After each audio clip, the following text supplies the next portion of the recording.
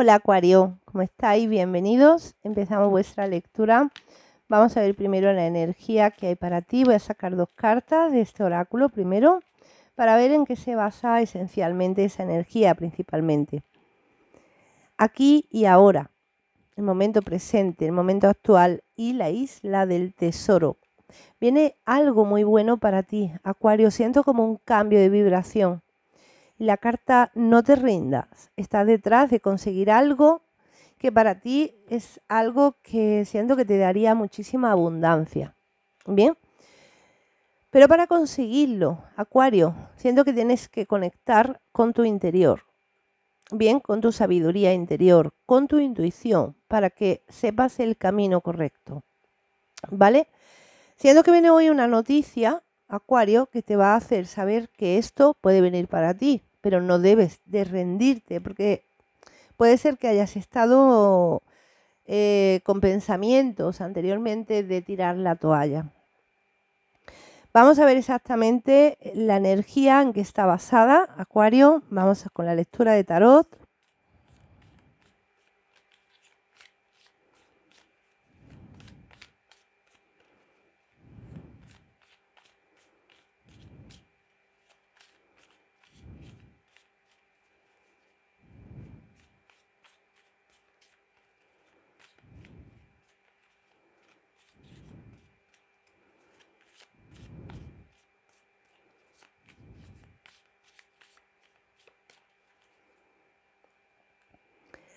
Haz de oro. Se abre una puerta posiblemente hacia la economía. La carta de la luna y la carta del diablo. La carta del emperador. Princesa de espadas. Sí, viene una noticia, Acuario. Viene una noticia, bueno, puede ser que tú no esperes ahora mismo esa noticia que llega. Bien, la carta del rey de oros, tres de copas y la carta de la torre. Es un cambio de vibración. Eh, siento como que te alejas de, puede ser de ambientes tóxicos o de personas tóxicas, Acuario. Porque fíjate lo que hay a tu espalda. Con la carta del emperador siento que te representa a ti, eh, aquello que tú estás pensando, aquello que tú estás programando para tu vida, pero hay como un engaño a tu espalda, ¿no? Ese engaño viene dado por personas. ¿Qué es lo que pasa con personas? Que siento como que ha habido personas y hay personas en tu entorno, como que descubres de pronto que son personas que vienen a utilizarte, vienen a sacar algo de ti. Bien, son personas eh, de muy baja vibración también o ambientes de baja vibración porque pueden ser personas que estén dentro de un lugar de trabajo también. Entonces tienes que aprender como a que estas personas eh, no alteren tu paz interior. Bien, sales de todo este ambiente de toxicidad siendo como que de pronto Acuario rompe con todo, con todo lo que le molesta, porque todo esto lo llevas viendo mucho tiempo, ¿no? La carta del alquimista viene algo muy nuevo para ti. La carta del 8 de copas, sí. Te marchas de todo este, tanto situaciones como personas. Y la carta del 6 de oros. ¿Sabes también lo que siento? Siento como que vas a empezar a dar a cada uno lo que se merece, Acuario. Porque tú sabes que ¿quiénes son esas personas que vienen a aprovecharse de ti, a sacar algo de ti que les interesa? Entonces Acuario va como a empezar a equilibrar su vida y a equilibrarse al lado de estas personas también, dando a cada uno lo que, le, lo que pide realmente, ¿no? Vas a dar a cada uno lo que le conviene, lo que tú piensas que es justo para ti, ¿vale?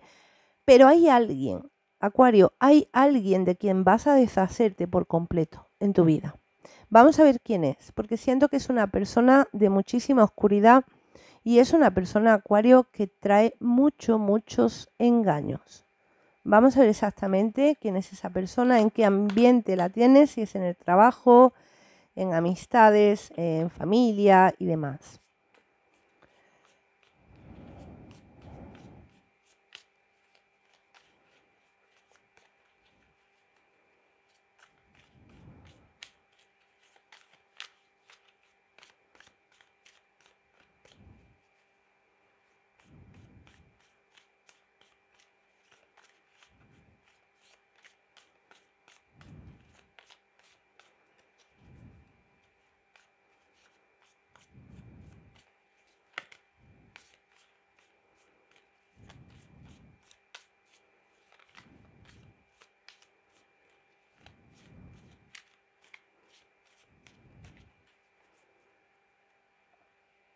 La carta del mundo,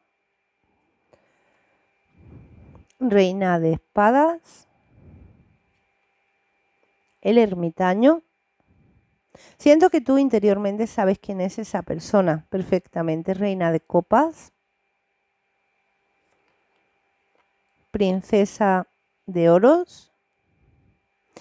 Siento que es alguien que de pronto te contacta, Acuario, y a la misma vez, cada vez que te contacta esa persona, Acuario, em, pasa algo, ¿no? O sea, es como que tú sientes el pensamiento de esa persona, la energía que arrastra esa persona, y sientes que es una persona como que siempre que te contacta es porque quiere algo, ¿no? Cuando esa persona necesita algo, te llama o te busca. Pero cuando esa persona está bien, es como que se olvida completamente de ti, ¿no? Yo siento que ya por ahí sabes quién, quién es. La carta del 5 de espadas. La carta del emperador. Además es una persona que puede ser que te haya mentido, traicionado a tu espalda, ¿vale? Que haya hecho algo eh, grave hacia tu persona o haya dicho algo negativo hacia ti. Princesa de espadas, el juicio, si es alguien que regresa a Acuario,